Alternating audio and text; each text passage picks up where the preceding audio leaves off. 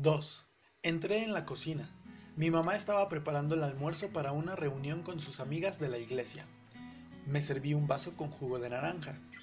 Mi mamá me sonrió. ¿Vas a dar los buenos días? Estoy pensándolo, le dije. Bueno, al menos te levantaste solo de la cama. Tuve que pensarlo por un largo tiempo. ¿Qué hay con los chicos y el sueño? Somos buenos en eso. Eso la hizo reír. Como sea, no estaba durmiendo, estaba escuchando La Bamba. Richie Valens, dijo ella, casi susurrando. Qué triste. Justo como Pasty Kleine. Asintió.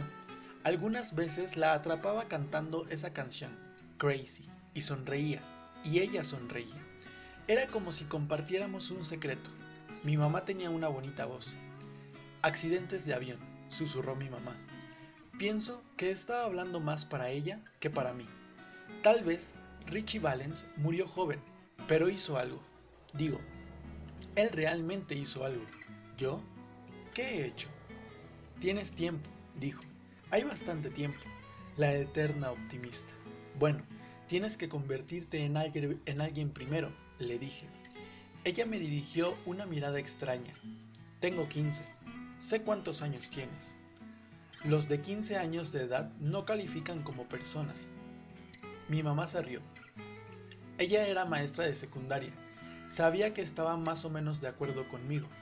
Así que, ¿de qué es la gran reunión? Organizaremos el banco de alimenticio. ¿Banco alimenticio? Todos deben comer. Mi mamá tenía algo por los pobres. Había estado ahí. Sabía cosas sobre el hambre que yo nunca sabré.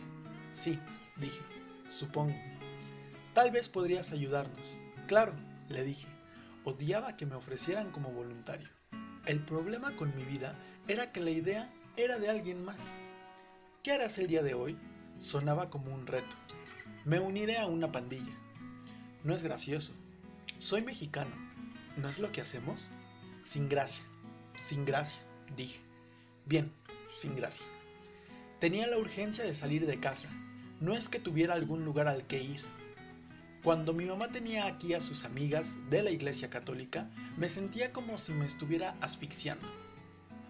No era tanto que todas ellas tuvieran más de 50 años, no era eso.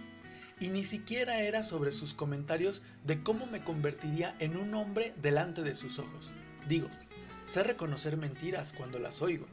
Y así como estas mentiras iban, estas eran buenas, inofensivas y amables, Podía soportar el que me tomaran por los hombros diciéndome, déjame ver, déjame ver. Ay, qué muchacho tan guapo. Te pareces a tu papá. No que hubiera algo que ver, solo era yo. Y sí, sí me parecía a mi papá. No pensaba que eso fuera la gran cosa. Pero realmente lo que me molestaba era que mi mamá tuviera más amigos que yo. ¿Qué tan triste era eso? Decidí ir a nadar a la piscina del Parque Memorial. Era una idea pequeña, pero al menos era mi idea. Mientras atravesaba la puerta, mi madre tomó la vieja toalla que llevaba al hombro y la cambió por una mejor. Había ciertas reglas en el mundo de mi mamá respecto a las toallas que yo no entendía, pero estas reglas no solo eran para las toallas. Miró mi playera. Conocía una mirada de desaprobación cuando la veía. Antes de que me mandara a cambiar, le di mis propias miradas. Es mi, pal, es mi playera favorita, le dije. ¿No la usaste ayer? Sí, dije. Es de Carlos Santana. Sé quién es, me dijo. Me la dio mi papá en mi cumpleaños. Según recuerdo, no estabas muy emocionado cuando abriste tu regalo. Esperaba algo más. ¿Algo más? No lo sé, otra cosa. ¿Una playera para mi cumpleaños? Miré a mi mamá. Supongo que no lo comprendo. No es tan complicado, Ari no habla. A veces cuando la gente habla, no siempre dice la verdad. Supongo, le dije. De todas maneras, ahora realmente me gusta la playera. Puedo verlo. Ella estaba sonriendo. Yo también estaba sonriendo. Papá la consiguió en su primer concierto. Yo estaba ahí, lo recuerdo. Está vieja y maltratada. Soy sentimental. Claro que lo eres. Mamá, es verano. Sí, dijo. Es verano. Reglas diferentes, le dije. Reglas diferentes, repitió. Me encantaban las reglas diferentes del verano, Mi madre las estableció. Me alcanzó y peinó con sus dedos. Prométeme que no la usarás mañana. De acuerdo, contesté. Lo prometo. Pero solo si tú prometes no ponerla en la secadora. Tal vez la deje que tú mismo la laves, me sonrió. No te ahogues. Le devolví la sonrisa. Si lo hago, no des mi perro en adopción. La cosa del perro era una broma, no teníamos uno. Mamá entendía mi sentido del humor y yo el suyo. Éramos buenos de esa manera. No que mi mamá no tuviera algún misterio, una cosa que yo completamente comprendía. Entendía por qué mi padre se enamoró de ella, porque ella se enamoró de él. Es algo que no puedo comprender.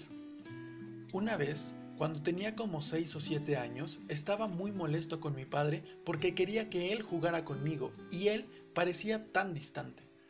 Era como si ni siquiera estuviera ahí. Le pregunté a mi mamá con todo mi enojo infantil, ¿Cómo pudiste casarte con ese tipo? Ella me sonrió y peinó con sus dedos. Era su maña. Me miró directamente a los ojos y tranquilamente me dijo, tu padre era hermoso. Ni siquiera dudó. Quería preguntarle qué era lo que había pasado con toda esa belleza.